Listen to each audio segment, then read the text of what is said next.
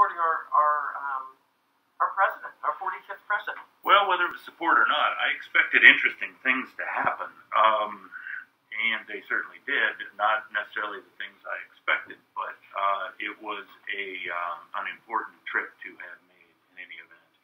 But Um, let, let's come right ahead. out and say you did not go to the Capitol. Well, let me say this. We started at the ellipse down between the White House and the Washington Monument. And Trump spoke a little bit long, and then there was supposed to be a procession